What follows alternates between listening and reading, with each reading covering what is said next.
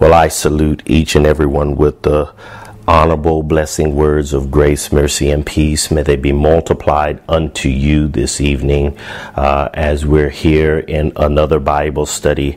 And tonight we begin a new journey. We begin a new chapter um, that we're about to press into, which is Revelation chapter 14. Amen. Revelation chapter 14. For those who may have received the notes by email or those who have looked online uh, through social media regarding tonight's Bible study, uh, even as it is called chapter 14, uh, if I could entitle this chapter, I would call it Reaping of the Harvest.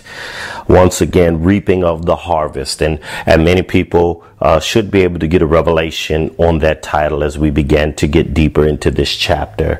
Uh, as I always say, even from Revelation chapter 1 up until now, I like to keep the harmony line going uh, all the way through the book because we never know who may be new listening and tying in.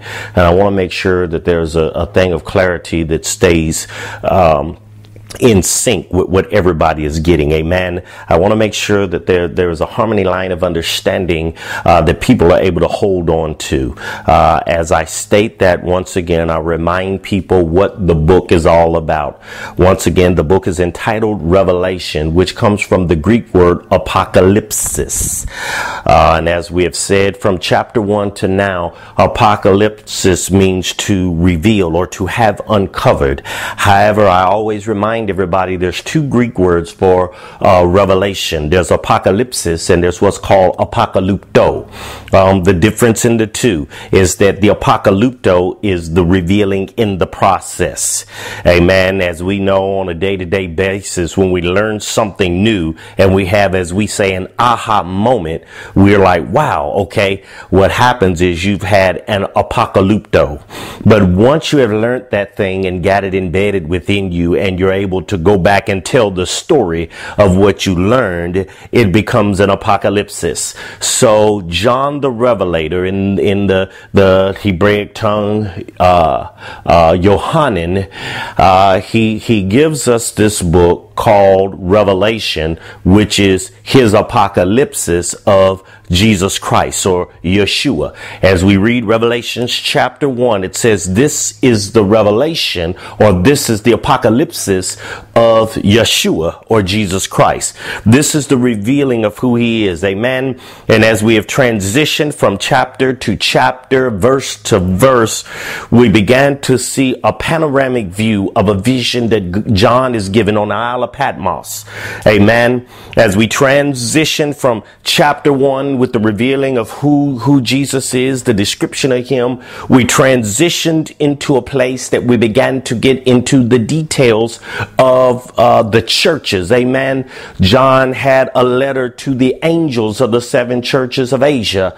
As we understand angel, and I bring that back to your remembrance for those who have been part of this study, angel coming from the Greek word angelos, which means messenger. Amen.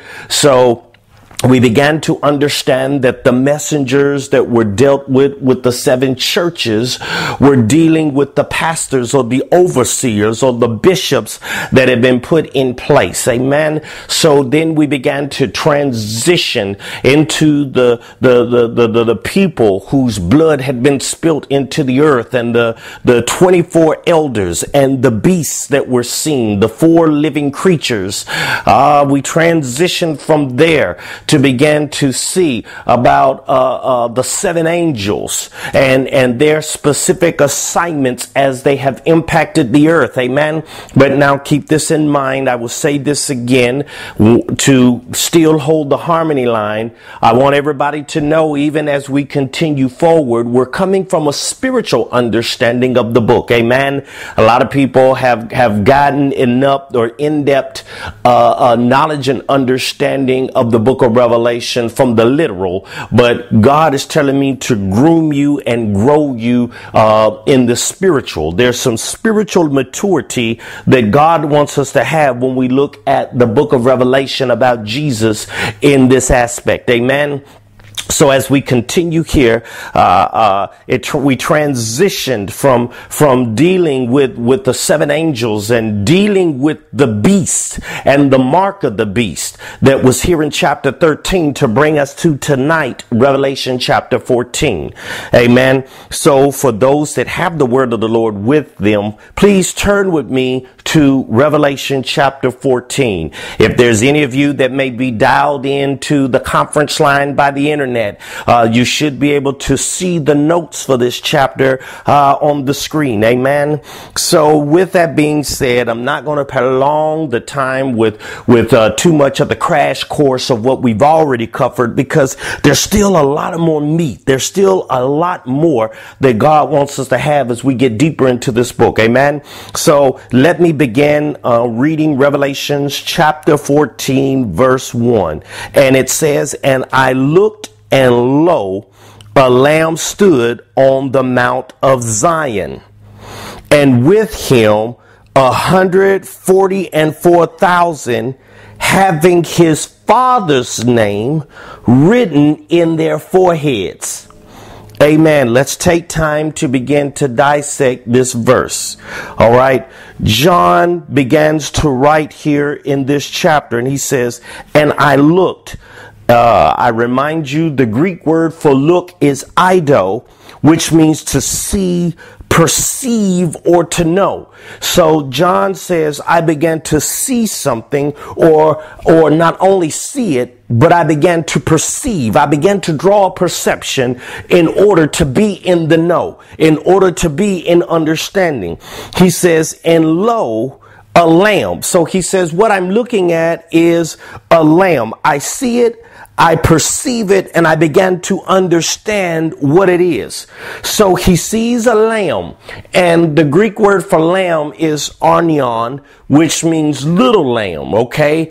Uh, I began to think about that, you know, as we have been on this journey with the book of Revelation and, and I began to get a little bit more understanding here, uh, as it articulates the lamb Watch this.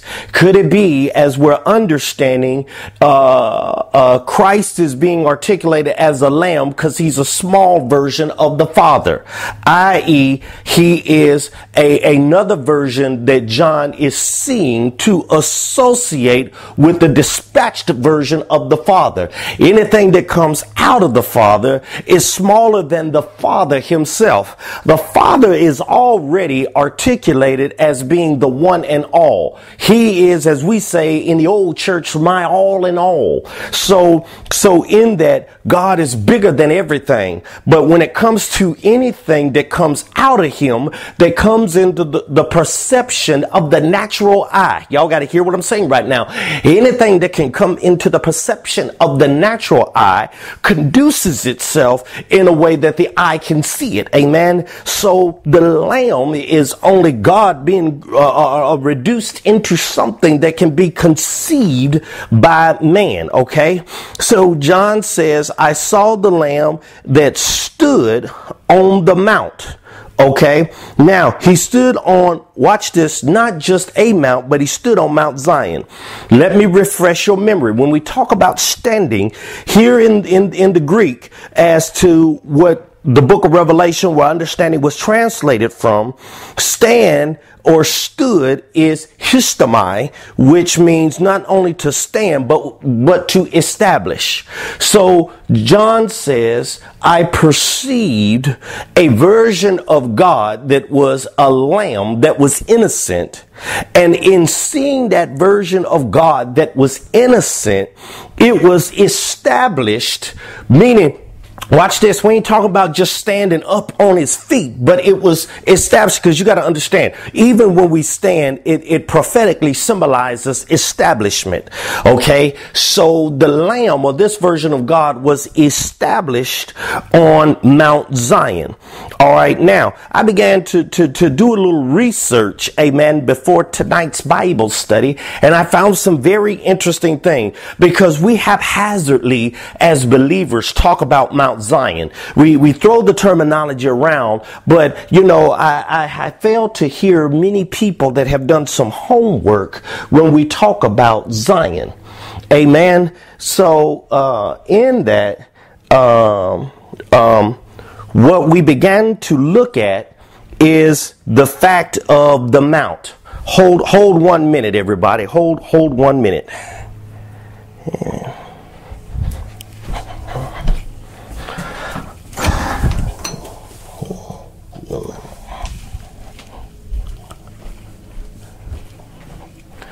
Amen, amen, amen.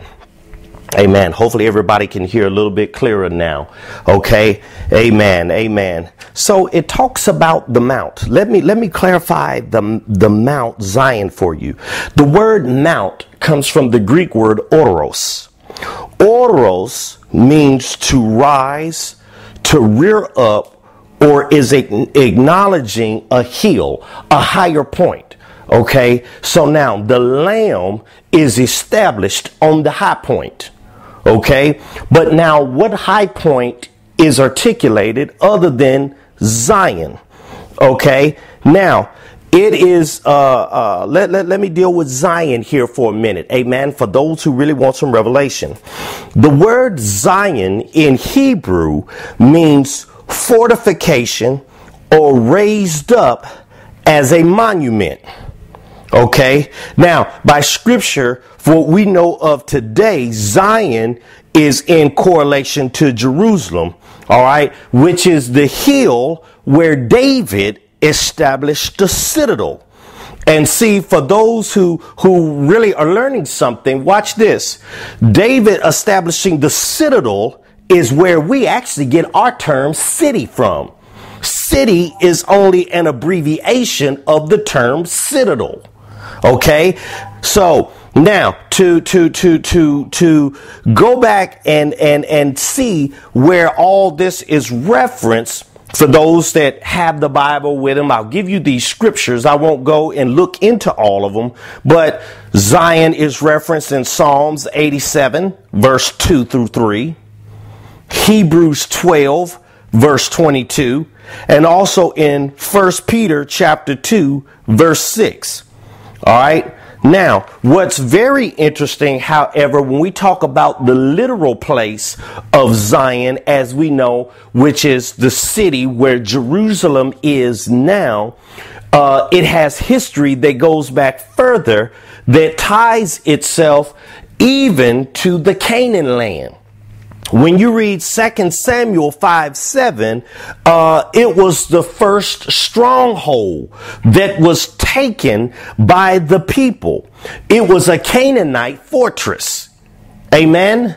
So now, if I even go back a little bit further than that, this is what I found that was very profound as I began to do my homework on Zion is also the term Zion is a name that is two cultures pulled together.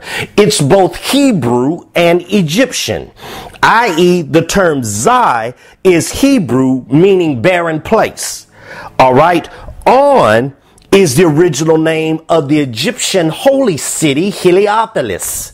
Okay, to bag it up, when you go to Genesis chapter uh, 41, verse 45, it talks about Joseph married Potiphar's daughter. His daughter was from the city of On on, i.e., Heliopolis, or i.e., the second half of Zion.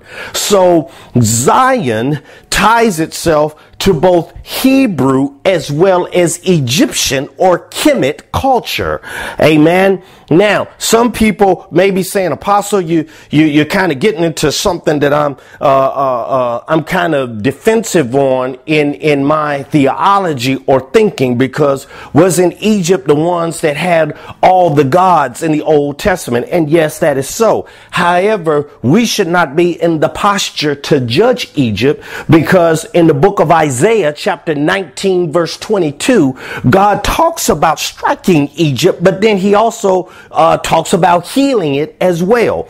Amen. If, if I can turn there just for a moment, because I just found this very fascinating as we talk about Zion, or should I say, the body of Christ doesn't do enough talking about Zion or the history of Zion.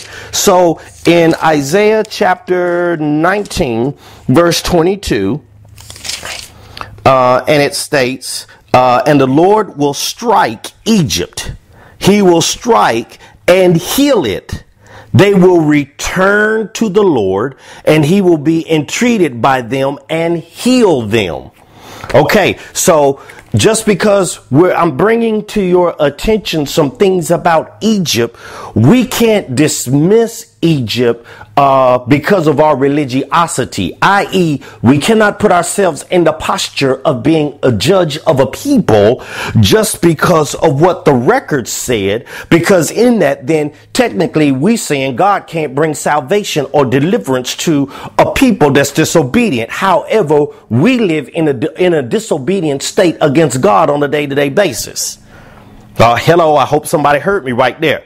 What I'm just saying is there's some significant things about Egypt because, you know, uh, and I'm not trying to do a, a, a, full lesson on Egypt tonight, but I have to bring this backdrop into the picture in order for you to understand the significance of Zion.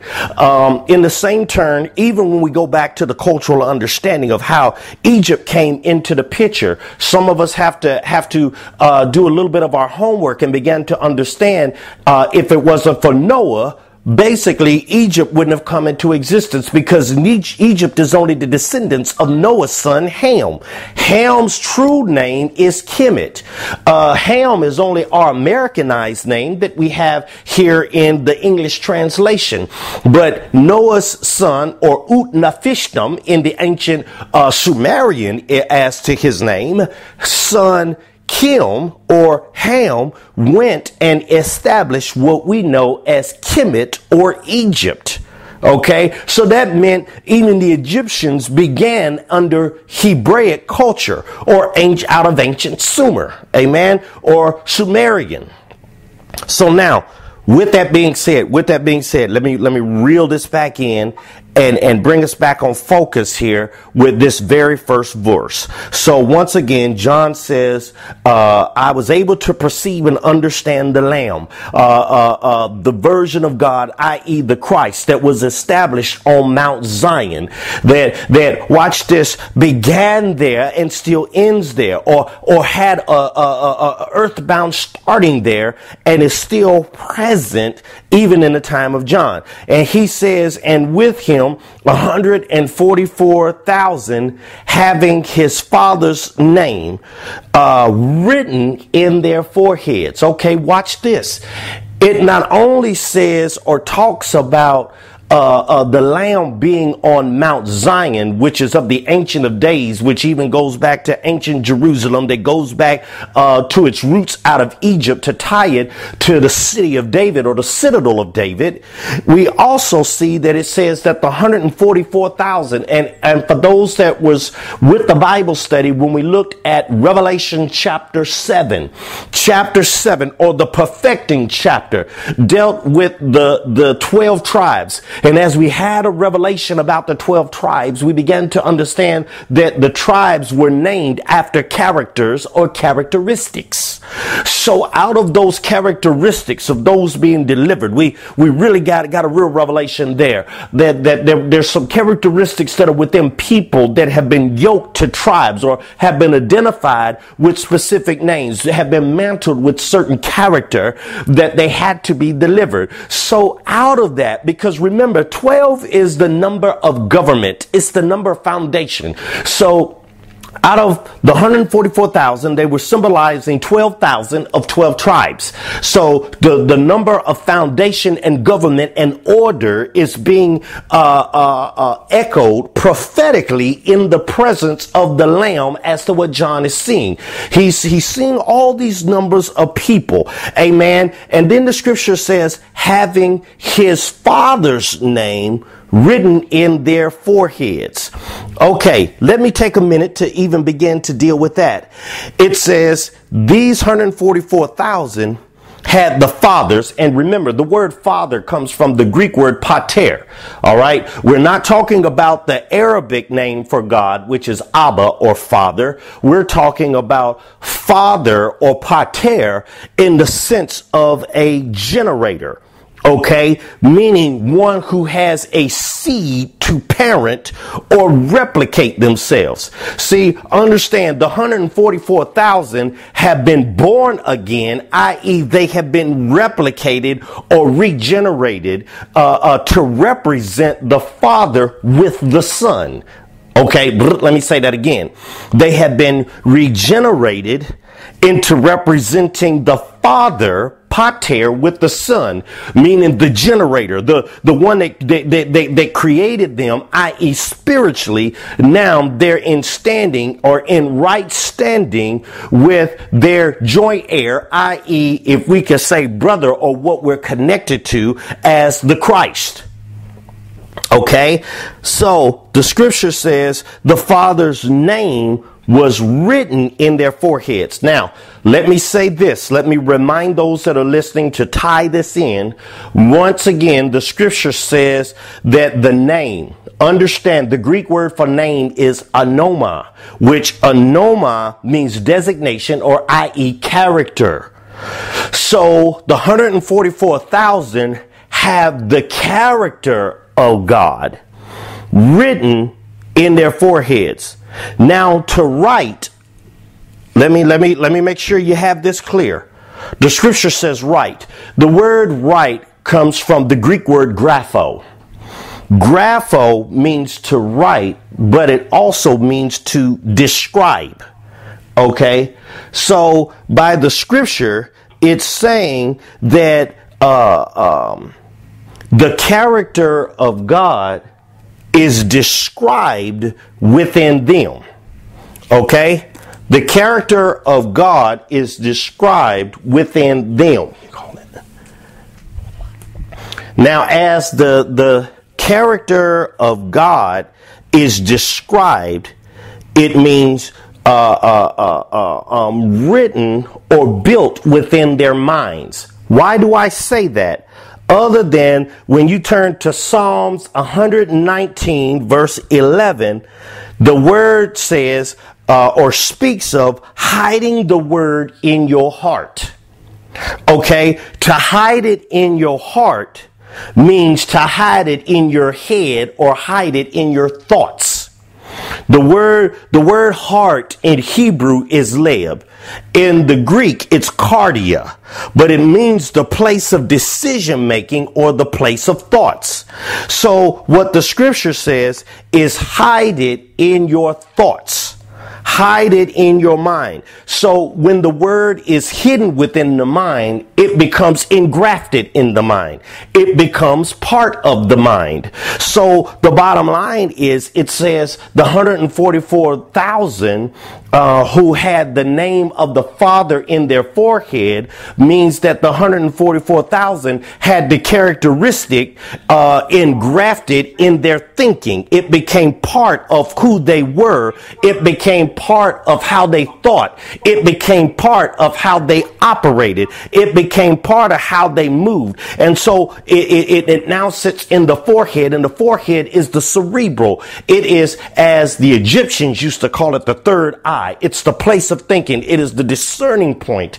It is the place, as I tell people, the throne seat of God. Because understand, eh, God operates in our thoughts, or i.e. in our suke, or our soul. So it requires something to be in the mind in order for God to be there. Amen. So as I began to understand this, as I begin to understand it, it now brings us to, to verse 2. And it says, And I heard, and I heard uh, a voice. Amen. I heard a voice. The scripture says, I heard a voice. Now, in the hearing of the voice, amen, in the hearing of the voice, it says, I heard a voice from heaven as the voice of many waters and as the voice of a great thunder. And I heard the voice of harpers harping with their harps. All right. Now, John says here in verse 2, he says, I heard a voice. Okay. Now, in the hearing, he's saying not only did he audibly hear, but he said he understood. Okay, because the Greek word for hear is akuo, which means not only to just hear, he wasn't just listening, but he was truly listening within his spirit, meaning he was understanding. So the scripture says a voice uh, from heaven as the voice of many waters. So he says that there was a voice. And when we talk about voice, the word voice is phone or phone, which means sound, tone, reverberation, or frequency. So John says in his understanding, he began to get on the right frequency. He began to, to hear a sound. He began to hear something uh, that now brings him to a place of understanding. Uh, hope somebody is hearing me right there. Uh, uh, uh, he's brought to a place of understanding. So now, in his place of understanding, the scripture says that he heard a voice from heaven. Now, it wasn't a voice from anywhere. It says that the voice or the frequency or the sound came from Oranos, came from the sky, came from space, came from heaven, came from a place in his surrounding. All right. And it says, as the voice of many waters. Now, in that, John says, I heard a sound uh, uh, that's coming out of the heavens, but it was so enormous. It was so massive. It was so broad that in the hearing of it, John is basically telling you that it was un, un under, you, you couldn't understand it. It was like a crashing noise because as he says, it came as the sound of many waters. If anybody has been by water, especially a waterfall, if anybody has ever come by a stream, if everybody, anybody has gone by the rapids, uh, uh, rivers, fast running water, the noise is so great that you can't even comprehend or watch this, hear anything else else. Hear what I'm saying? What happens is the noise is so great that it drowns out any other sound. So John says, I hear a frequency, I hear a voice that's of so, so much of a magnitude of a sound that it drowned everything else out. He says, in the same turn, he said it was as thunder. So it, it, it, it spoke with power.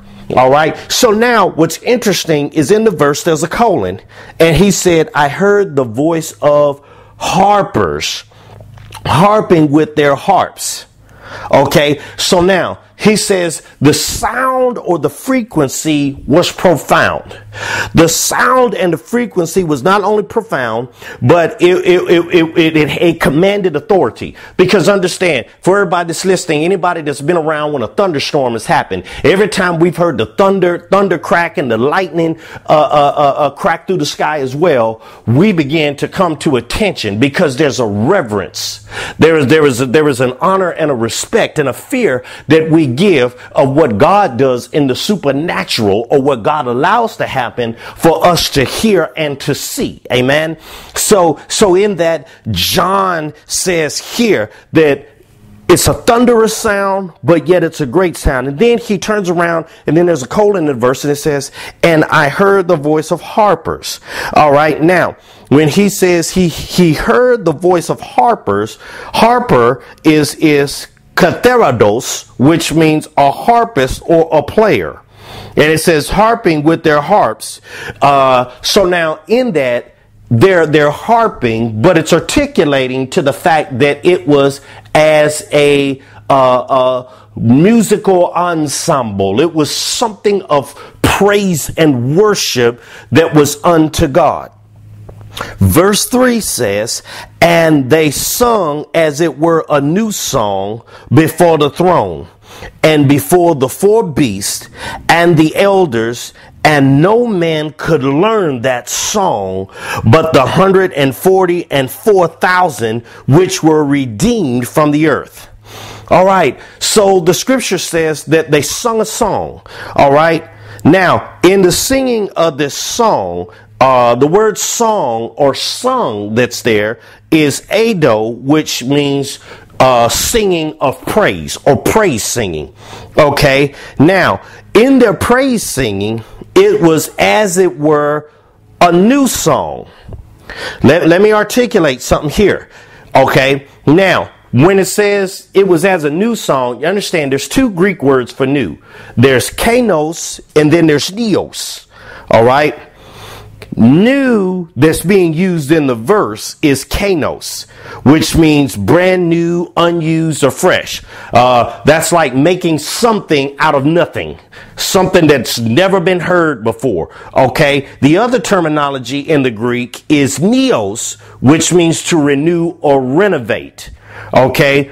Two different words, but uh, imply the same thing in our English dialect.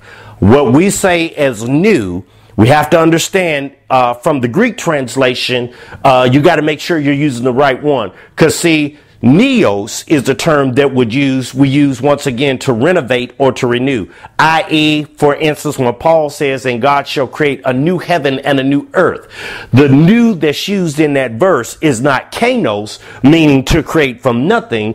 It's the word neos, which means to renovate, means to, to, to make over or cosmetic, do cosmetic work. Amen. As somebody, you know, for you to be able to grab this, uh, the thing is, if, if your brakes stop working on your car, you don't get rid of the car and get a whole new one. You just do cosmetic work of replacing the brakes so that the brakes on, on the car that you got work. So neos is a terminology of cosmetic work. Okay. Kainos, however, here is talking about brand new. So this is a jam that don't nobody else know. Y'all, y'all got to get what I'm saying. I'm trying to trying to keep this in the reality for you to grab. So there's the John is saying that the, the, the psalm is something that he's never heard before. And the thing is, it's a song that everybody can't catch because the thing is, the song is only relevant or taught or within the spirit of the 144. Why is it a song within the spirit of the 144? Uh, other than could it be tied to the fact of the word that was hidden within their thoughts? Oh, oh, okay. Just like we said here previously, it says that the Father's name or his character is written in their foreheads. So there's a character of God. This means their song of praise and worship to God deals with the character of God that, that, that nobody else has tapped into. Nobody else has got the frequency. Could it be? Could it be? Just like as we say when a band comes together, you bring the trumpets, the trombone, the baritone, the flute.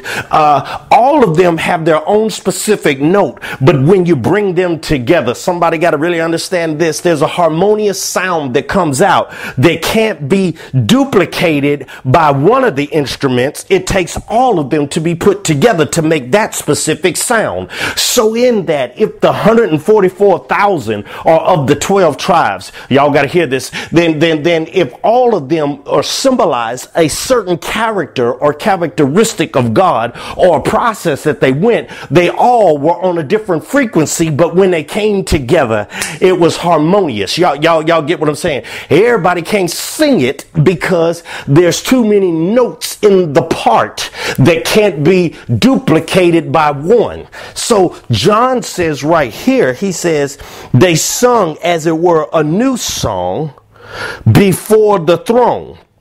All right. Now, they sung it before. Remember, the word throne comes from the Greek word thronos, which means the seat of power. So they sung it before the seat of power and before the four beasts. And as we remember, the four beasts are referenced in Revelations chapter 4, verse 6 through 9, chapter 5, verse 6 through 14, chapter 6, 1 through 8, chapter 14, here in verse 3. Okay.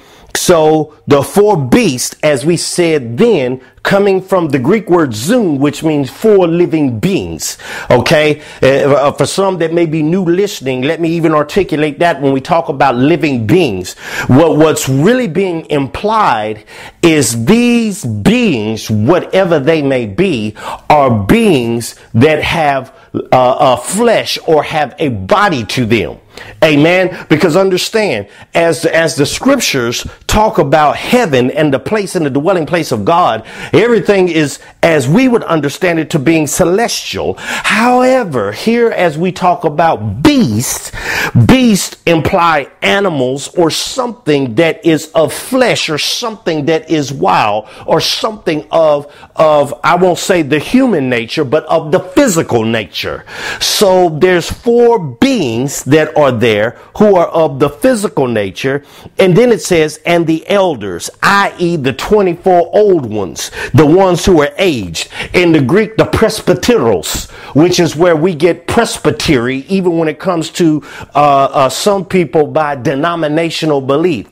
Presbyter, uh, uh, uh which bottom line means elders, those who are of age, those who are mature, those who are, as we would say in today's terminology, seasoned.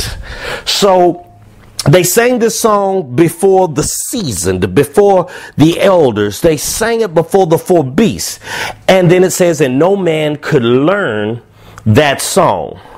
Okay? No man, and understand this. It didn't use the term uh, um, anthropos, which is for man, i.e., the physical.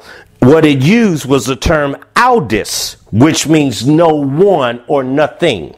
So this is inclusive of not only a human being, but anything that was created. It says nothing was able to learn this song, i.e. in the learning, the Greek word for learn is manthano which doesn't just mean to learn, but it means to understand.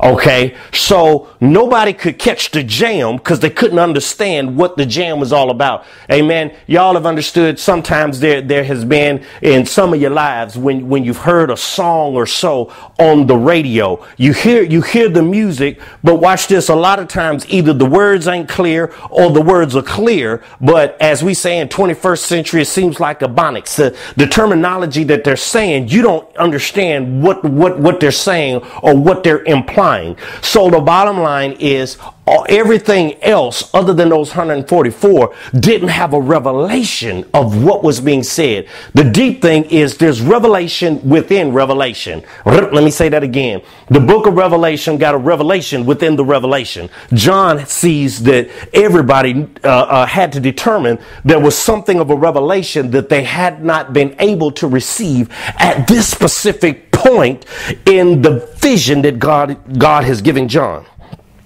Okay, so it says, no man could learn that song, but the 144,000 which were redeemed from the earth which were redeemed from the earth. Let's let's let, us let us take a, a, little moment and begin to look at, at, at, what we're talking about or what is it implying when it talks about the redeemed from the earth. All right, the word redeemed comes um, from the Greek word agorazo, which means to purchase or to buy. Okay, so the 144 were purchased from the earth or from the land or from the ground. There was a price that was paid for in order to obtain them. See, if we, if we remember back in Revelation chapter 7, it says the 144,000 had the seal of God, which means the mark uh, uh, the, the, the, the, if I can even, even go there and say the Stephanos, the crown, the mark of God in their forehead. Okay. Once again, it said here, the mark of God that's in the forehead ties itself to what's written or what has been described or what has been downloaded in the cerebral when it is based on the word of God. All right. So now the 144,000 have been purchased because watch this. Could it be that the word that they hid in their heart, i.e. in their thoughts added to the value? Oh, y'all got to hear what I'm saying. The more I get the word in me, the more valuable I become. Okay, the more I download the word of God or get it into my mind, engrave it into me, it increases my value. It's just like an investment. Y'all got to understand, all of us were, were one of God's greatest investments. If God made us, if the, if God, Yah, made us out of the Elohim, all right, he says, you are one of the greatest investments that I can have in myself.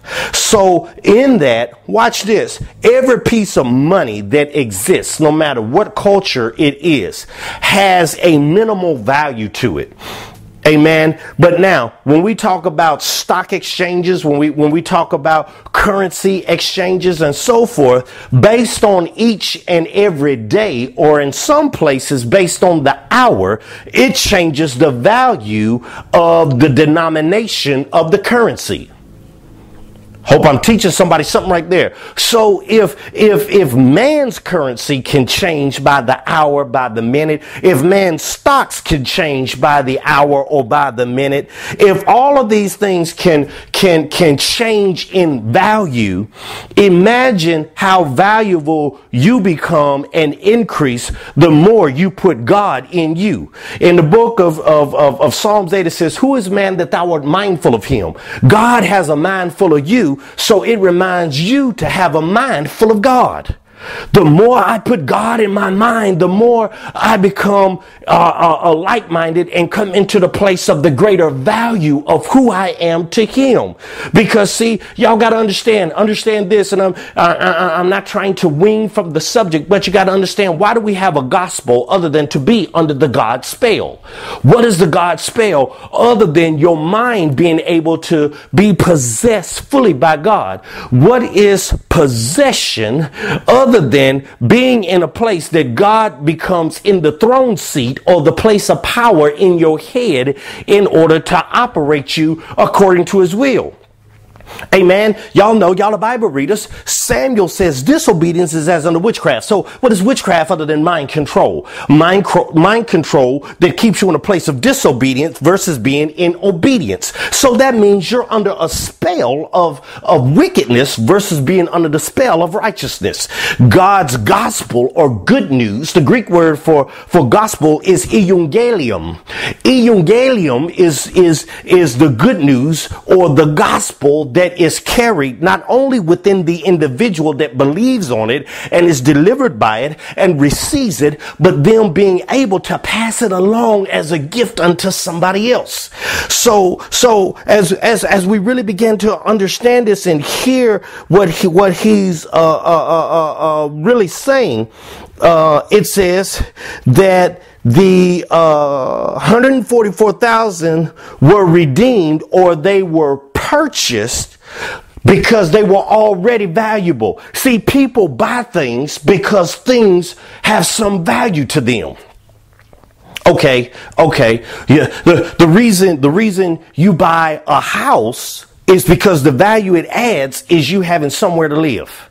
The reason you buy a car is the value it has. It can get you from A to B. Those, those become, watch this, your necessities. They become things that you need, not just want. Now, now the things, the things that you want is the quality of what you get. Okay. But the things you need is the minimal necessity. Doesn't the scripture say God will supply all of our needs. He supplies the necessity. Okay. Uh, uh, uh, so, so in the same turn, we add wants to the equation of the need. So in the same turn, he, he, he wants you because you need him okay, as the need. Watch this, watch this, because you, you think about it. You, we're only small version of him. In John 10 34, Jesus says, Is it not written that ye are gods and scripture can't be broken? Jesus referred to Psalms 82 6 that calls you a God in the earth and the children of the Most High. So in that, we're a version of, of, of himself, not God himself, but we're versions or duplicates. So in that, there is a need uh, and a want that is in the equation.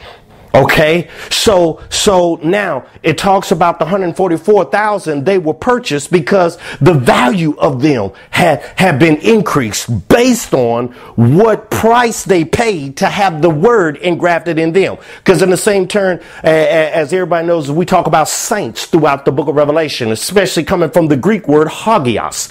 Hagios means sacred, but in order for something to be sacred, it had to go through a process. Okay, it had had to go through, as we would say apostolically, a consecration, which means there's a price of separation that had to occur. So if they were sacred, if they were saints, okay, the 144,000 were redeemed. They were purchased because of being made a sacrifice in the process.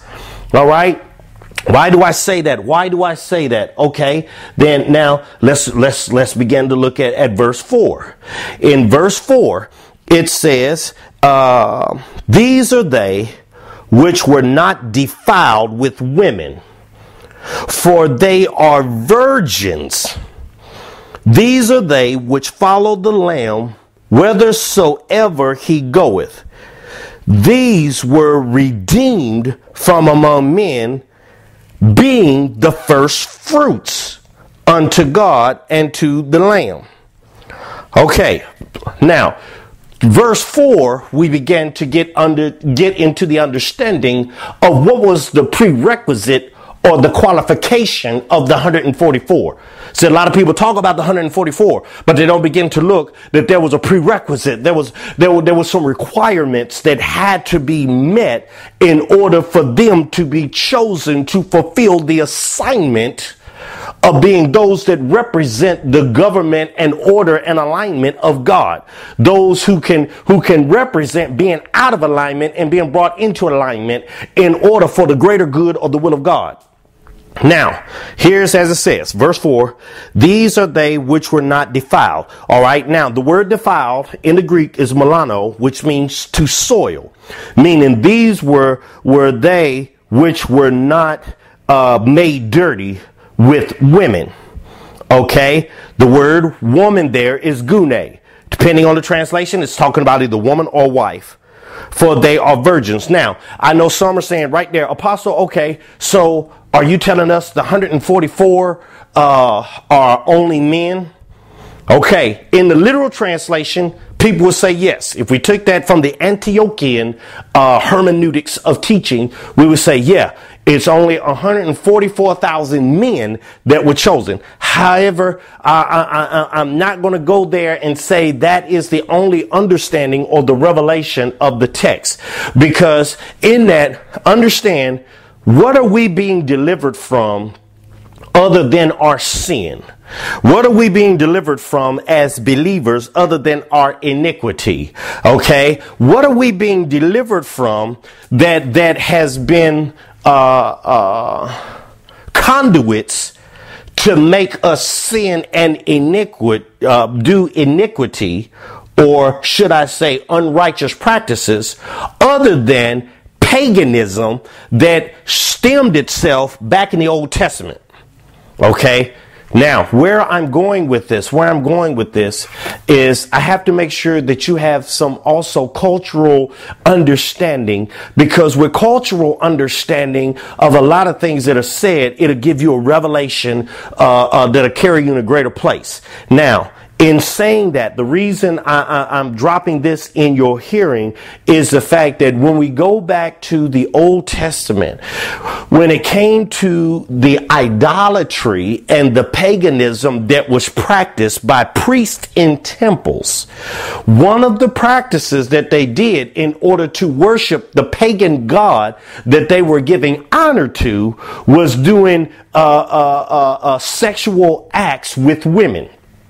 All right. Now, we as a Western world, we we we we we call uh, uh, women that that that are on the street different terms like harlots, whore. Uh, we we use all these different terminologies. However, the thing is, when we go back and look at it scripture wise, it wasn't that a woman was on the street corners dealing with a lot of men being familiar with them. All right. By the scriptures and the culture, it was them doing their due duty as part of the worship of a pagan god. The priests had them. Okay. So now watch this. If the priests were of temples, they were supposed to be the representative of the God of the temple that they were keeping.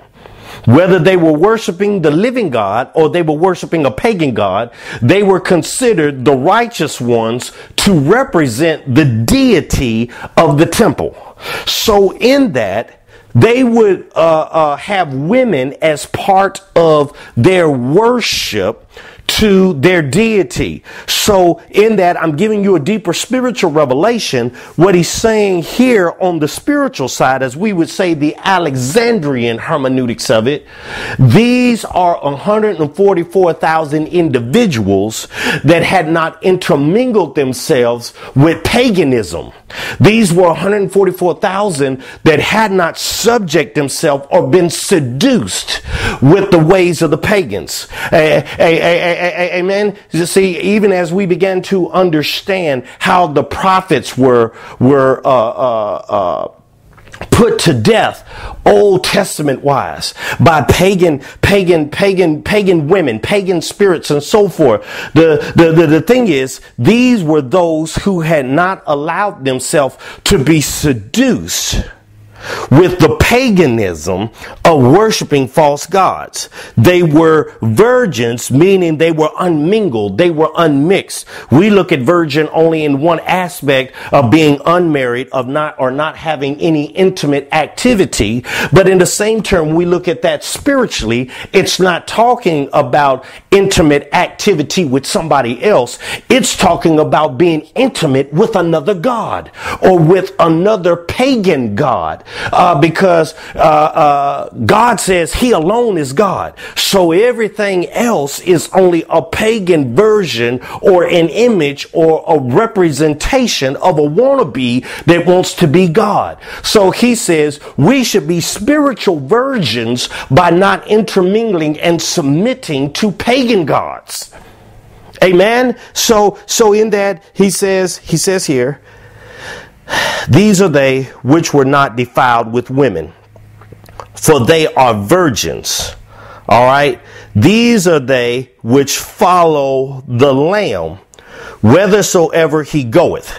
All right. Okay. So it really tells you these are they that are virgins because they follow the Lamb. They don't follow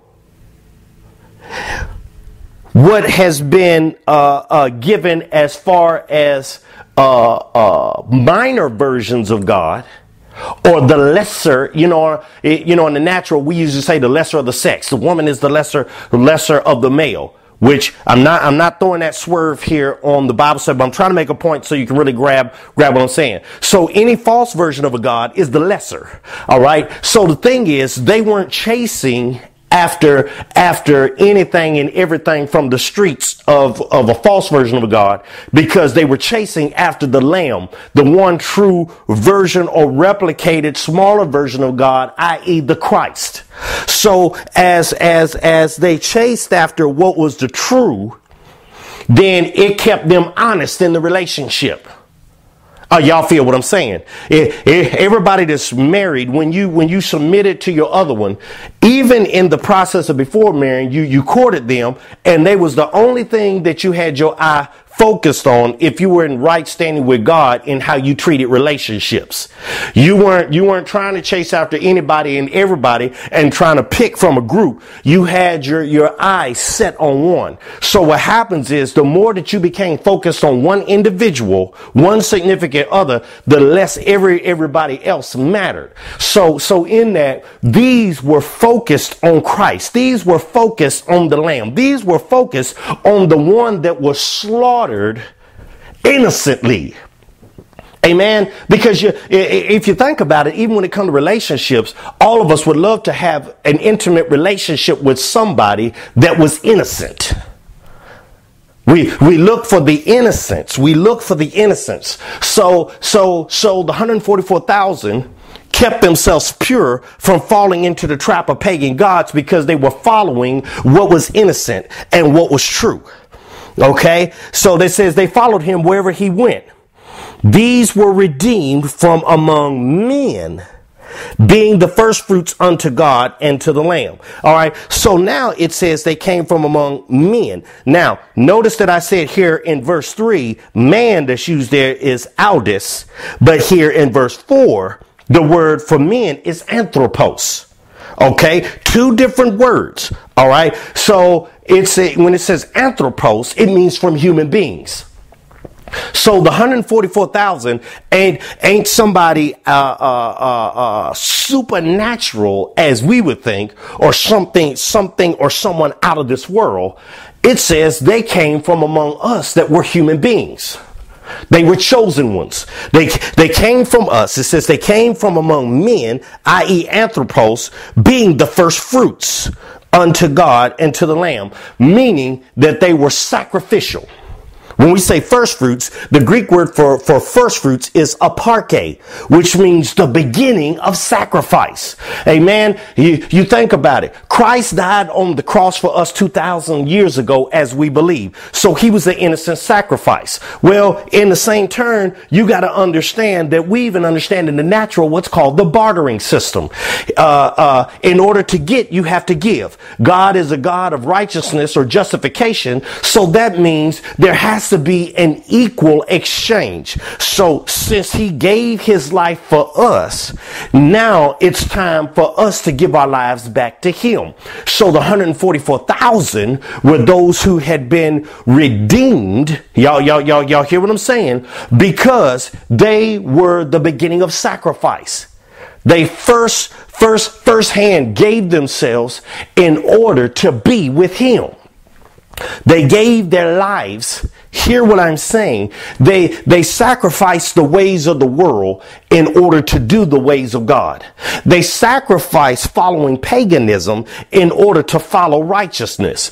Due to their sacrifice that began in their mind, it began in their thoughts. Now it made them acceptable or redeemable unto God. See, the thing is, we, we, when we say we give our life to Christ, it's the beginning step of being the first fruits. Hopefully I'm giving a revelation to somebody. It's, it's the beginning. I know we're right there of the hour, but it is the beginning of being the first fruits unto God. It, there's a sacrifice, meaning a changing of the mind. There has to be a conversion and a word that's going inside the mind. So, so here they have given themselves unto God. And so now he says, I redeem you. I purchase you from the earth.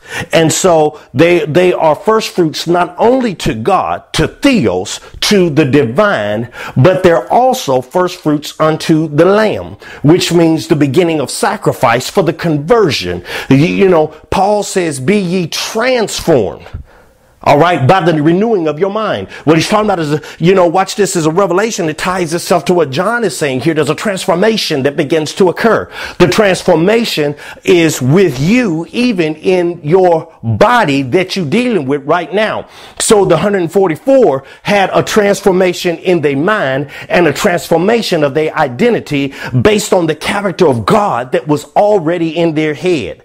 So, so now we begin to understand this is what, what, what begins to, to transcend here when we understand about the redeemed. This is where, where we really get a deep revelation about being redeemed or the process of redemption that we've even talked about in the Gospels, Matthew, Mark, Luke, and John. Here's where the power punch of understanding the redemption process because it, it, it validates itself as we have spoken here uh, and come back to the 144,000 that were talked about in Revelation chapter 7. Now we understand on a deeper note what was the, uh, the prerequisites of their choosing in order for them to be selected to be redeemed. Amen. Amen.